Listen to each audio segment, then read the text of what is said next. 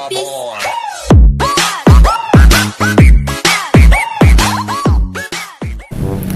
jadi ada pertanyaan misalkan mau format data itu mending via pengaturan HP seperti ini erase all data atau factory reset apa lewat uh, custom recovery. Nah jadi karena di sini deviceku juga storage-nya sedang terinskripsi yang mengharuskan untuk format data makanya kita tes saja ya. Di sini aku mau reset factory reset dari pengaturan sini. Nah erase ya. Nah ini bakal menghapus semuanya ya jadi nol lagi. Tapi namanya menghapus data internal ya harus di backup dulu sebaiknya ya. Kalau mau melakukan kayak gini sebaiknya di backup dulu di eksternal memori entah di flash disk atau ke mana aja. Pokoknya jangan sampai disimpan di internal nanti bakalan hilang atau kehapus semua guys. Oke? Kita klik erase all data ya. Ini semua akun bakal hilang soalnya. Kita masukkan kodenya erase data oke. Okay. nanti bakalan kita cek juga di custom recovery apakah bisa hilang inskripsinya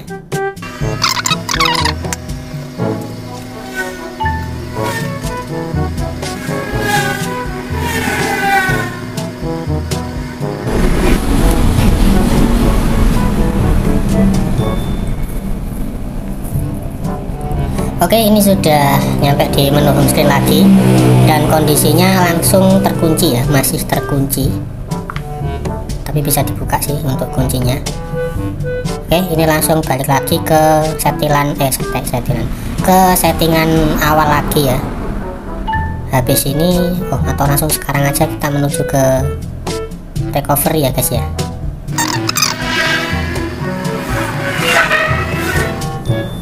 Oke ini sudah nyampe di custom recovery. Untuk custom recovery nya aku pakai orange fog versinya paling terbaru ya yang unofficial dari Sekawat 2 Oke apakah ini masih terenkrip coba kita coba kita cek ya. Di sini kita hapus saja.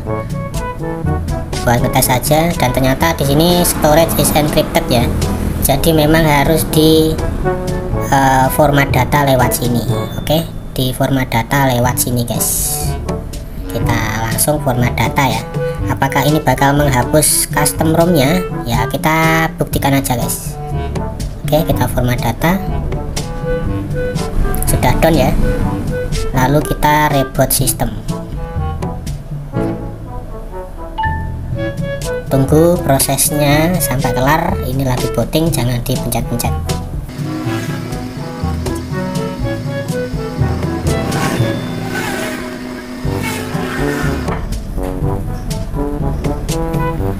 Oke ini sudah nyampe di menu home screen lagi. Seperti tadi balik lagi ke setelan awal ya. Jadi sekarang kita cek hasil storage nya apakah masih terinskripsi apa enggak. Kita balik lagi ke recovery